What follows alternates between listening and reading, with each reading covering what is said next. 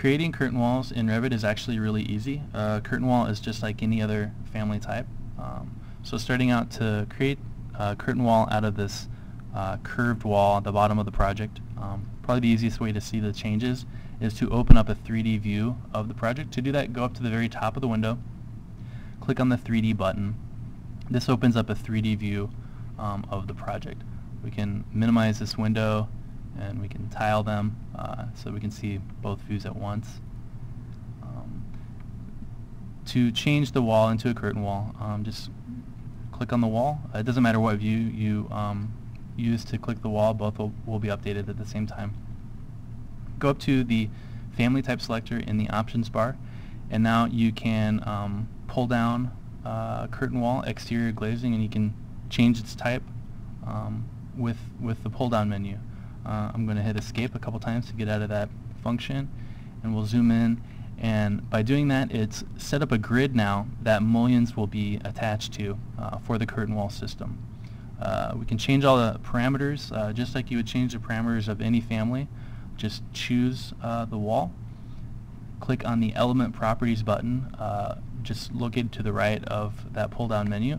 It'll open up element properties window um, and then to get into those type parameters, click Edit New, and you can start uh, adjusting the spacing and all those things in there. Um, I'm going to hit Apply, um, and it'll start changing those things. I'm going to hit OK, hit OK again uh, to get out of that uh, Element Properties window. You can start adding new lines to this grid uh, for mullions to be attached to by going to the Tool tray, this time choosing the Modeling tray. It'll bring up some curtain wall tools go to curtain grid, and now you can start adding new lines um, to the grid. To start applying, I'm going to hit escape to get out of that tool. To start applying mullions to the grid, um, click on the mullion tool.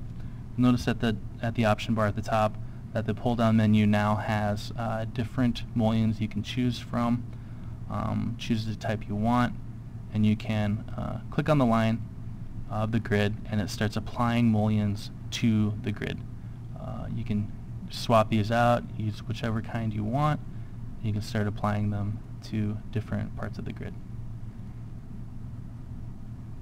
Um, the mullions are also a basically a family type and you can always choose them and select element properties and you can change their parameters too. I'm going to escape a couple times to get out of the mullion tool um, and say if you wanted if you didn't want this entire wall to be a curtain wall um, probably the easiest way to change that is to uh, take that wall and actually split it in a couple places. That way you can uh, select the wall individually and you can change it to a different wall type. Uh, to do that, I'm going to go into the plan. I'm going to zoom in in an area I want to split the wall, choose the split tool, zoom in and just split it at a point. Um, and I'll come in and do it on the other side. I'm going to escape a couple times to get out of that tool. Um, now I can choose this part of the wall individually. I can come up to the, uh, uh, the pull down menu and I can change it back to uh, any other kind of wall type I wanted to or change it back to it's the 8 inch CMU. You can see in the 3D view um, that has changed it back. Um, if we want to precisely place that wall now, um, just apply a dimension to it so I'm going to go to the tool tray, click basics, dimension. This time I'm going to use an arc length dimension.